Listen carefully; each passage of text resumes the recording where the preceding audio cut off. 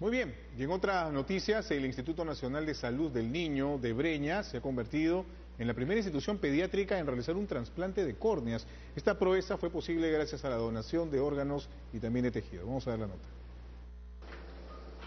Mientras todos celebrábamos el bicentenario de nuestra independencia, otro hecho histórico ocurría en el Instituto Nacional de Salud del Niño Breña.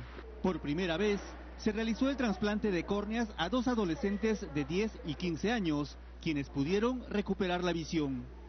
Uno viene de Ancas, el otro viene de Andahuaylas, son niños de provincias y eso es algo muy bonito porque estamos empezando con buen pie, ayudando a nuestros niños provincianos a recuperar su visión, vamos a transformar calidad de vida de personas.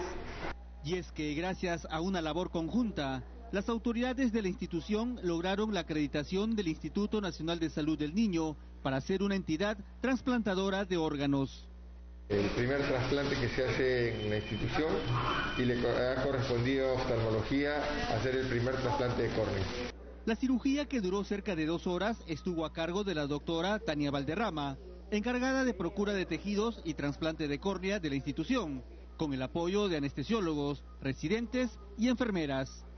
Sacamos la córnea dañada, vamos a colocar la córnea del donante, que es totalmente transparente, para que podamos nuevamente habilitar el eje visual y el paciente pueda recuperar su visión.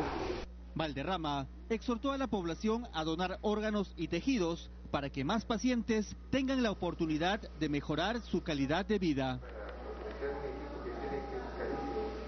Una muy buena noticia, sin duda, amigos. Son las 7 de la noche con 44.